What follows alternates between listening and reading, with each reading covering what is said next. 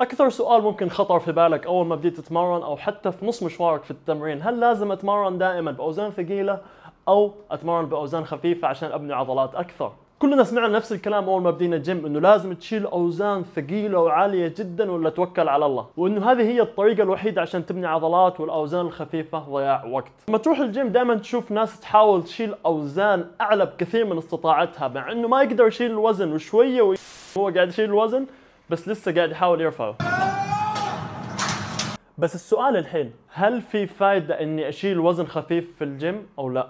خليك معي نهاية الفيديو هذا وحأبين لك الفرق بين اللعب بالأوزان الثقيلة وبين اللعب بالأوزان الخفيفة وإيش الفرق بينهم. قبل ما نبدأ الفيديو لا تنسى تسوي like ومتابعة قناتي عشان أقدر أفيدك بالفيديوهات الجاية. سنة 2016 سووا دراسة قارنوا فيها بين مجموعتين من الناس. أول مجموعة كانوا يرفعوا أوزان ثقيلة أعلى ب 65% من ال1 rep max اللي يقدر يلعبوه. والمجموعة الثانية كانوا يلعبوا بأوزان خفيفة ومتوسطة 60% أو أقل من ال1 rep max اللي يقدروا يلعبوه. ال1 rep max هو أعلى وزن ممكن يرفع الفرد لعدة واحدة فقط. اكتشفوا بالدراسة هذه إنه المجموعة اللي كانوا يشيلوا أوزان ثقيلة بعدات أقل بنوا تقريبا نفس كمية العضلات مع المجموعة اللي كانوا يرفعوا أوزان أقل بعدات أكثر وحسب دراسات ثانية كثير أنت تقدر تبني عضلات مع أوزان ثقيلة وعدات أقل ومع أوزان خفيفة وعدات أكثر وش السالفة طيب؟ كيف المجموعتين بينهم نفس كمية العضلات؟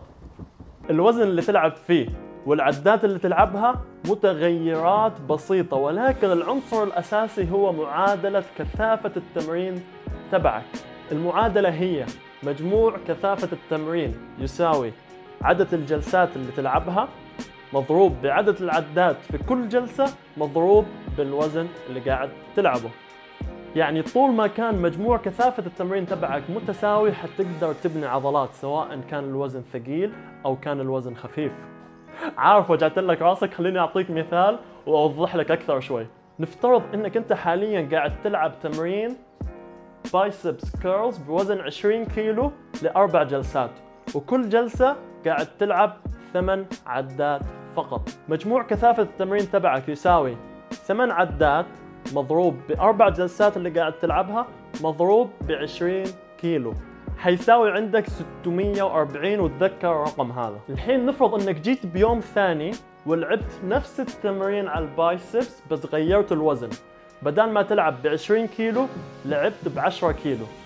وغيرت العدات. من 8 زودتها ل 16 بس إنك حافظت على نفس عدد الجلسات تبعك. حيصير عندك مجموع كثافة التمرين يساوي 16 عدة مضروب في أربع جلسات مضروب في 10 كيلو. يعني برضو حيعطيك 640 نفس الرقم اللي جانا وإنت شايل 20 كيلو على البايسبس. يعني نفس كثافة التمرين. ونفس كثافة التمرين تقريبا حتعطيك نفس النتائج. يعني ما في فرق باستخدام الوزن العالي أو باستخدام الوزن الخفيف.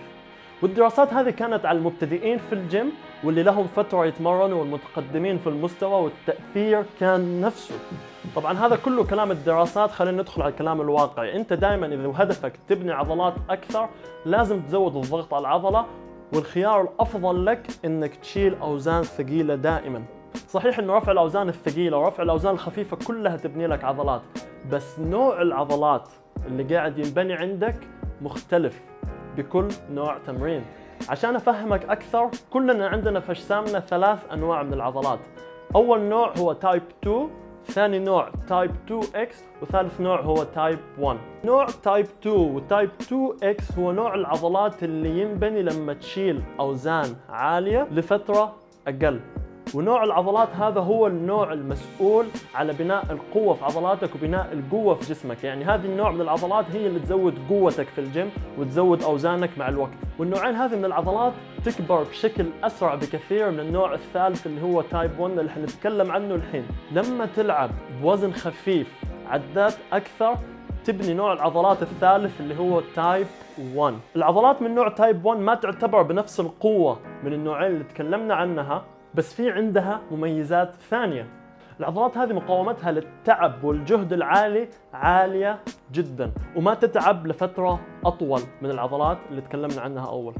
بس نسبة نمو العضلات type 1 أقل وأبطأ بكثير من نسبة نمو العضلات type 2 type 2 X عشان كذا نرجع للكلام اللي قلناه. إذا هدفك تكبر عضلاتك وتبني كتلة عضلية بأسرع وقت ممكن الخيار الأفضل لك إيش؟ هو إنك تلعب بأوزان عالية. هذا ما يعني إنك ما تقدر تكبر النوع type 1 من العضلات مع الأوزان الخفيفة والعدات العالية بس إنه ياخذ شوية وقت أطول. يعني باختصار الأوزان الثقيلة أفضل لبناء عضلات من نوع type 2 و type 2 X اللي هي عضلات القوة. والأوزان الخفيفة العدات الأكثر لمدة أطول هي الخيار الأنسب لبناء عضلات من type 1 اللي تحملها للجهد عالي وتقدر تقعد فترة طويلة بدون ما تتعب العضلة. طبعا موضوع أنواع العضلات مو بالبساطة هذه حشرحه بفيديو ثاني بالتفصيل عشان نختصر الفيديو هذا بس. بس يبقى كل هذا يعتمد على أهدافك أنت. إذا هدفك بس تبني عضلات اللي تسويه هو تدمج بين الأوزان الثقيلة والأوزان المتوسطة والأوزان الخفيفة على مدار الأسبوع في تمارينك.